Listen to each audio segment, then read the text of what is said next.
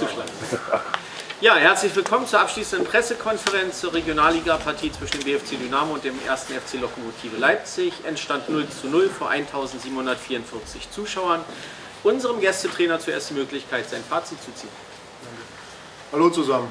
Äh, ja, es ist ganz schwer, gerade ein Fazit zu suchen und zu finden. Äh, Gefühlswelt kann man auch nicht wirklich beschreiben. Äh, die Jungs haben hängende Köpfe, obwohl wir immer noch umgeschlagen sind, obwohl wir Dritter sind.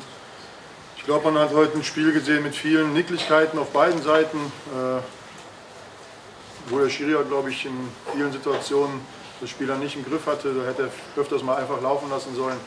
Äh, aber ich glaube, das Problem haben wir schon seit Wochen. Ich glaube, jede Mannschaft. Äh, ich glaube, wir sind in der ersten Hälfte, haben wir ein klein bisschen mehr Spielanteile.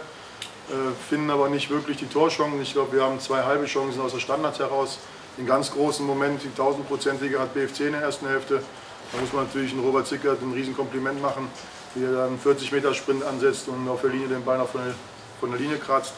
In der zweiten Hälfte, glaube ich, sind wir ganz klar spielüberlegen. Äh, haben auch zwei Momente mit dem Freistoß und in der 68. mit Schulze mit dem Schuss, wo der Torwart überragend hält.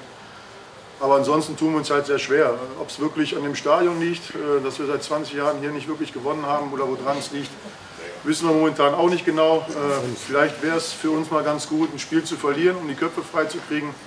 Ich glaube, äh, damit kämpfen wir gerade ein bisschen mehr, dass die Spieler nicht diesen letzten Willen zeigen, den wir am Anfang der Phase in der Saison hatten, vorne hoch zu pressen, wirklich ohne sich einen Kopf zu machen, was passieren kann. Den Willen, am Schluss das Tor machen zu wollen. Da hatten wir heute auch zwei, drei Momente, wo du einfach siehst, äh, dass nicht der letzte Wille da ist.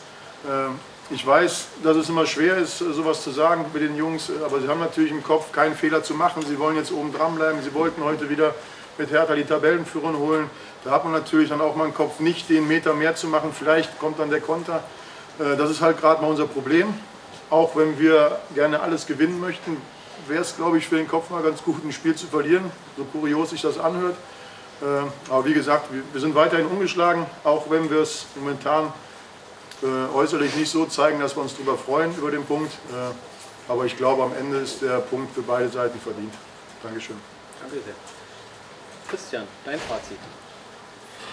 Ich wünschte, du hättest deiner Mannschaft vor dem Spiel gesagt, ruhig mal eins verlieren. Ja.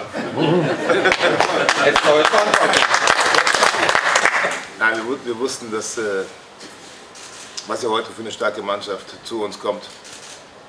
Um, war eigentlich klar, dass, dass wir diesen Kampf komplett annehmen müssen, weil, weil äh, die Lok wirklich äh, körperlich sehr dominant sein kann und sie das auch in ihrem, äh, in ihrem 3-5-2 richtig gut machen, über die Achter, wie sie dann anpressen und richtig Druck machen.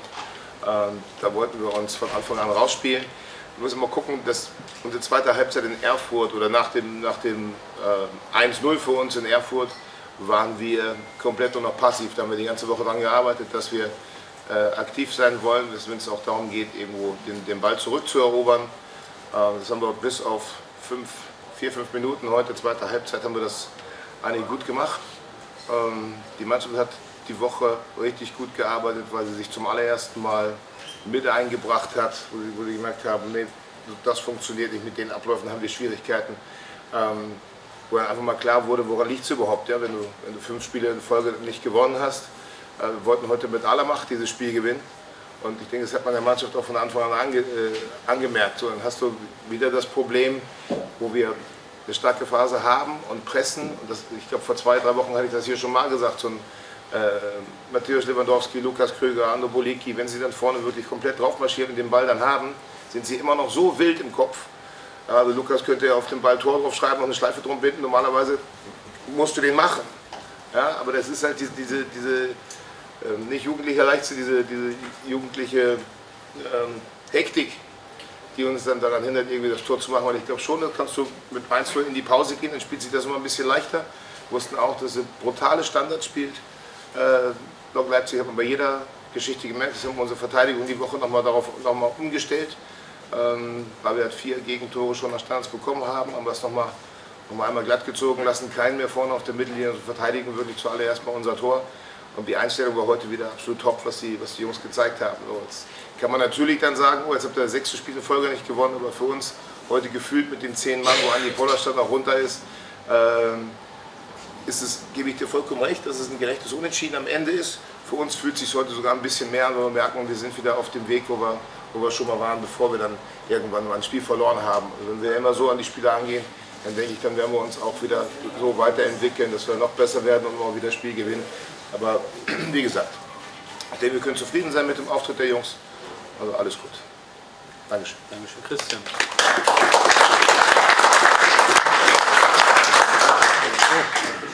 Eine Sache noch, ähm, gute Besserung an Patrick. Ähm, wir sehen es äh, hoffentlich kein Joch beim Bruch. Ähm, drücken wir die Daumen, also gute Besserung von unserer Seite. Ja, Dankeschön. Also nicht die Verwirrung jetzt nicht Fotografen Patrick, sondern die Nummer 14 von Leipzig, richtig? Ja, dann noch die Chance für die Pressevertreter, Fragen an die Trainer zu stellen. Wird heute eine kurze PK. Doch noch eine Frage? Es hat jetzt nichts mit dem Spiel direkt zu tun, weil Sie schon alles umfangreich gesagt haben, aber ich habe einen Redaktionsauftrag. äh, Der Jan Wasshausen vom HFC hat vorgeschlagen, doch wieder zu einer Spielzeit zurückzukommen von Anfang Frühling bis Ende Herbst. Und ich möchte heute hier Stimmen einfangen, was Sie denn von diesem Vorschlag halten würden. Also ich kenne den Jan schon ganz lange, aus Braunschweiger Zeiten. Das ist ein feiner Junge, macht sich äh, zu Recht über die richtigen Gedanken. Äh, schöne Grüße, wenn Sie mal sehen. Klingt ganz gut. Also, Warum wären Sie dafür? weil der Winter so doof ist.